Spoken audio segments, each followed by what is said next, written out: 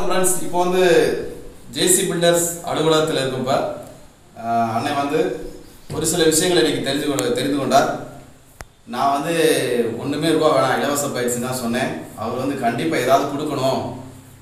குருவுக்கு ஏதாவது ஒன்று கொடுக்கணும்னு சொல்கிறாரு சரி ரொம்ப வற்புறுத்துறாரு. நீங்கள் என்ன சொல்கிறீங்க நான் வேணாம்னு சொல்கிறேன் ஆமாம் நான் அதை வந்து நான் அன்பான வேண்டுகோள். இது ஒவ்வொருத்தரும் வந்து ஒரு கலையை கற்றுக்கிட்டோமோ அவருக்கு வந்து காணிக்கை கொடுத்தா அந்த கலையினுடைய வளர்ச்சி.